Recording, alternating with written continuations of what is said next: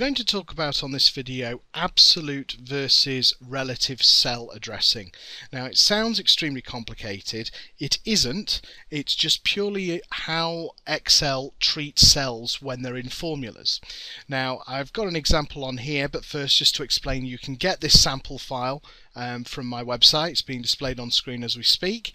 Um, and on there, if you haven't registered, please do so and then go to the appropriate post and then you can download this file.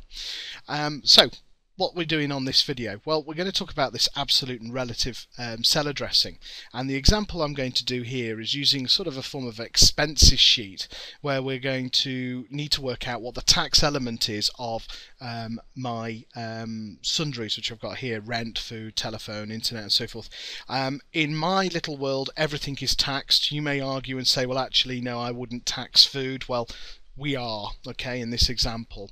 So in the tax on B9, what we're going to do is we'll just start off with a very straightforward um, formula and function. We're just going to do equals sum open bracket and then highlight the rent down to internet of that particular um, column and then close bracket and then press return. So fair enough, I've got my 520 on there, but that's giving me the total where all I want is the tax element of it. So what I'm going to do is just go into the formula bar up here at the very end, put in a star, and then click on B1. So I want to times the total by 20%. And then if I press enter, there we go, I've now got my 104 um, units on here. Now what I'm going to do is if I copy that and paste it into the next cell, you would expect it to add all this together and then times it by 20%. Well, I'm afraid I'm going to burst your bubble here because it won't. Let me show you. So I've just done copy. I'm going to now just do paste and it suddenly shows zero. Well, let's just investigate. Well, we know that this is working. If I double click, it will highlight for me on the, on the screen that I've got my summed range here and B1 is referring to the 20% at the top, so that's fine. I'm going to press escape. So let's have a look at the other one. Um, we've got C4, so let's just double click on that. C4's highlighting the correct column here, but look where it's highlighting at the top here. It's going to C1 now instead of B1. Well, you can't have it both ways. In this case, we want to actually copy the information across to the adjacent column, but obviously the tax rate is in the wrong place. I would have to, at the moment, delete the C, put the B in its place and press enter. And then now it will work. But what's going to happen if I copy and paste that? Well, I'm going to have the same problem. It's going to immediately want to move to the adjacent cell to the right, the left, up or down. Um, so this is clearly not any good. So what I want to do is keep the base formula that we've done, but delete any others that we've put on there. Now there is actually a way of having your cake and eat it and this is by actually changing the cell reference from being a relative to an absolute. Now you may have seen these in spreadsheets from time to time and wondered what the heck they are. Well, you're going to have a firm grasp of it in a second. What I'm going to do is I'm just going to click into the formula bar on the B, uh, B1 cell and then on your keyboard just press F4. Now what this will do is it should encapsulate B1 in dollar signs. So you've got dollar $B, dollar $1. Now if you press F4 again, it will change it to B dollar $1 and if you press it again, it changes to $B1. And then finally, if you press again, it should go back to B1. So obviously there are several states to this absolute addressing that we're doing here. So let's just focus on the top one first, which is $B, $1. So make sure it's the same as this. Press enter and then all I'd like you to do is go onto that particular cell, the tax total, and copy and paste it into the adjacent cell for February. Now what you should see is it's now working. Now all you've got to do is double click and you can see it's still pointing at B1.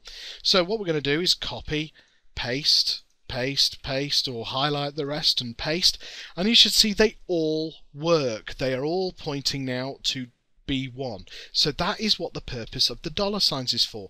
Think of it like crazy glue, super glue. It is sticking the cell in place. So it doesn't matter where I copy it, up, down, left, right, the formula will always stick to B1. So that's the purpose of it at that point. But there are times where you want it to actually work not just on a slap bang individual cell, but you want it to move um, relative across the um, columns, but absolute on the rows. Now let me give you an example of this. So an example we can do is um, this. Let's go to sheet 2 and you should see I've already created um, for you on here an example that we, we can work on and uh, anyone that went to school should know your 10 times table um, so let's just do that as an example of relative versus um, absolute cell addressing. And it's a good example actually because we have to cater for both types of um, absolute um, referencing here because because let's just take it as it is. So we've got A3 times B2. So if I just copy that cell and then I go to the next cell down and choose paste, well, what am I going to expect to see? Well, it shows 2, but what's actually going on? Well, it's now saying, if I double click, it's saying A4, which is correct, times B3. Well, that's wrong. It should be B2. Now at the moment the calculation's working properly but if I copy and then paste in the remaining cells at the bottom here I mean obviously 1 times 10 is not what's that 3,628,000. It can't be. Um, so what's going wrong? Well, it's exponentially getting bigger because what's happening is that's saying times B2. If I go to the next one, it's saying times B3, which is wrong. Then it's times B4. B5, B6, and obviously what we're doing is we're doing 6 times 120, 7 times 720, 8 times 5040, and so on and so on. So the formula is wrong, it's flawed. So what do we need to do? Well, I'm going to delete all the nonsensical ones and just go back to our original formula. And then in here what do we want to say? Well what I want to do is I want to be able to copy acrosswards so it becomes 1 times 2 1 times 3 but I don't want it to move downwards. I don't want it to become b3 b4 well in that case then what I want to do is I want to do a partial absolute. I want to actually lock it on say the um, row because I want it to move relationally across the columns as I copy acrosswards, but I actually want to make sure that it's locked on that row only. So with B2 in the formula bar selected, I'm going to press F4 once, press F4 again, and what that's telling it to do is move freely on the columns, but you must always stay on B2. So let's just OK that.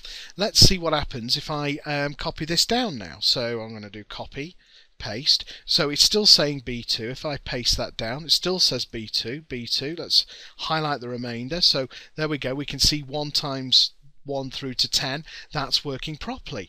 Now, if I copy that acrosswards to the next cell along and paste, what's going on? Well, 1 times 2 is, is perfectly fine. Well, what's 1 times 3 if I paste that across?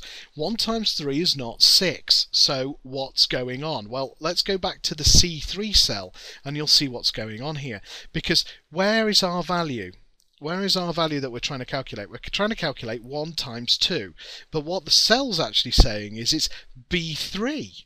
Well, B3 is the actual part of our answers. So this time I want it to stay locked on column A but move relatively down the rows. So again, the formula's wrong in this place. So I'm going to delete that. I'm going to delete all the other ones that we've done because those formulas are wrong as well. And so I'm just going to go into here, click on A3 and then this time, what are we going to say? Well, the A3 cell is not relative, it is going to be a partial absolute, but it's going to be the exact opposite of what we've set up on here. So we do F4 until it reads $A3, which means lock it on the A column but move relationally down the rows. So if we now press enter again, okay, so we got 1 times 1. Okay, copy. Let's just do the remainder of the ones and paste. And look, that's working fine. Now, let's go to C3 down to C12 and paste. Is that working? I'd say it is. Let's just paste again. And in actual fact, sorry, I tell you what, let's just highlight the remaining cells where we want the answer and paste because it should work for everything. And now just check your maths involved here and you'll see that in every cell it is working properly. So what we've done here is we've got one formula that fits all of these cells and that's thanks to absolute addressing. So in summary, we've got to understand that there are several ways of referencing a cell. We can reference a cell relatively by just saying B1. If we wanted to lock it onto a particular um, column, we would then say $B1 if we wanted to lock it on a row but leave it relative um, on the columns, we would say B dollar one. And they're the three states the cell can be in. So completely relative, partially relative, or finally full relative, which, sorry, full um, absolute, which means dollar $b, dollar $1. So hopefully this has explained a little bit of the mystique which goes on inside creating formulas. And if you get to know these very well, it will save you a lot of work in the long run. So I hope you've enjoyed this video and thanks for watching.